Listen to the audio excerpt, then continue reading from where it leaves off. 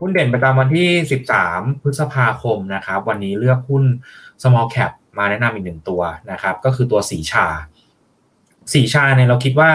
กำไรไตรมาสที่ 1 เนี่ยจะออกมาสูงสุดในรอบเกือบ 6 ปีเลยนะครับ ถ้าดูเป็นรายไตรมาสเนี่ย เพราะว่ากำไรจะออกมาโต 47% QQ แล้วก็ 566% year on year ถ้าเราดูเนี่ยนะฮะต้องบอกว่าโดดเด่นมากเพราะว่า backlog เขาเนี่ยจากเดิมที่ backlog เขาแบบ ต่ำๆมาตลอดเนี่ยนะครับ ตอนนี้เนี่ย backlog ถ้านับสิ้นปีที่แล้วเนี่ยอยู่ที่พันแปดแต่ว่าถ้านับปัจจุบันเนี่ยอยู่ที่สองพันแปดนะฮะสำหรับตัว backlog ของ SRICHA เพราะฉะนั้นเนี่ยสูงเป็นประวัติการณ์เลยอะใช่ฮะเพราะฉะนั้นเนี่ยในแง่ของการรับรู้รายได้เนี่ยมันก็จะเร่งตัวขึ้นอย่างมีนัยยะเหมือนกันนะครับ อย่างประมาณการที่เราทำเนี่ยรายได้เนี่ยต้องบอกว่าโตขึ้นมาเนี่ยร้อยเปอร์เซ็นจากปีที่แล้วนะครับ ในช่วงไตรมาส กำไรนี่ไม่ต้องพูดถึงเลย เพราะว่ารายได้โตปุ๊บมาจิ้นก็ขยายตัวตามด้วย เพราะว่าได้เรื่องของ leverage เรื่องของต้นทุนที่ทำได้ดีมากขึ้นนะครับเพราะฉะนั้นสีชากำไรน่าจะออกไม่วันนี้ก็พรุ่งนี้นะครับ แล้วก็เราคิดว่าเราคาดไว้ร้อยหนึ่งเราคิดว่าไม่น่าต่ำกว่าคาดคือน่าจะเห็นเลขสามหลักแน่นอนนะแต่ร้อยเท่าไหร่แค่นั้นแหละนะครับ ซึ่งถ้าออกมาดีกว่าคาดตรงนี้ก็จะเป็น sentiment เชิงบวก สำหรับราคาหุ้นด้วยนะครับ อย่างที่บอกไม่ใช่แค่ Q1 ที่ดีนะฮะไตรมาสถัดไปเนี่ยก็จะดีต่อเนื่องเพราะว่าด้วย backlog ที่สูงขนาดนี้เนี่ยมันทำให้กำไรเนี่ยฟื้นตัวอย่างก้าวกระโดดนะครับ ปีที่แล้วเนี่ย turnaround มาแล้วนะจากขาดทุนพลิกมาเป็นกำไร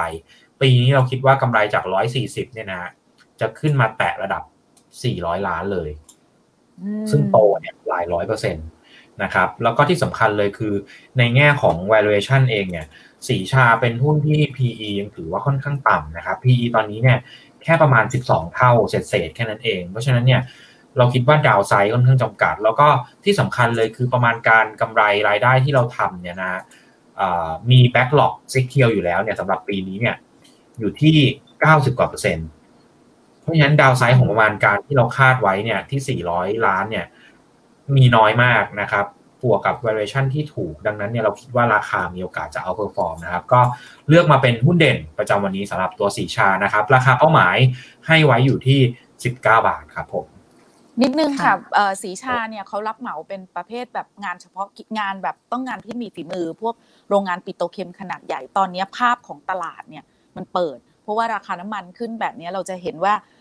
ในกลุ่มปิโตรเคมีทั้งโลกนะคะหลังจากที่อั้นไม่ได้ลงทุนมานานตอนนี้เริ่มขยายการลงทุน เพราะฉะนั้นโอกาสที่สีชาจะไปชนะงานประมูลอื่น ๆ ในต่างประเทศนี่ยังมีอยู่สูงด้วยนะคะ